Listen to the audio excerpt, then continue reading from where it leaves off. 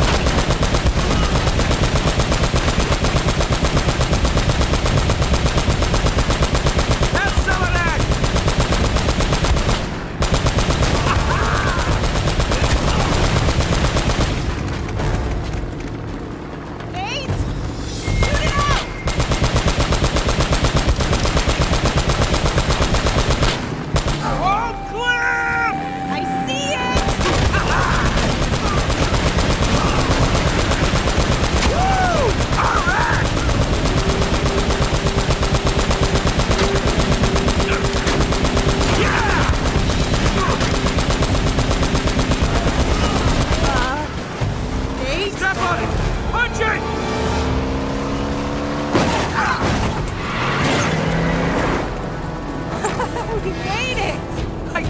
that worked! So who was that guy? Just an old business associate. Oh, look out! Oh no!